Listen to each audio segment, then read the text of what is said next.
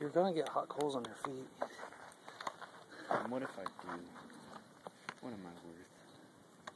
That's Jacob's bare feet right by the fire because he chose to step in. There's our popcorn. We're popping popcorn, Jiffy Pop. and you can hear it.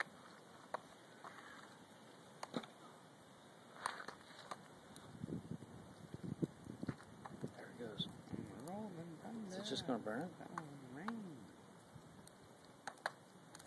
Uh-oh. Pop. There it. Poppity. Popping. Peepee pop. Hope it doesn't explode.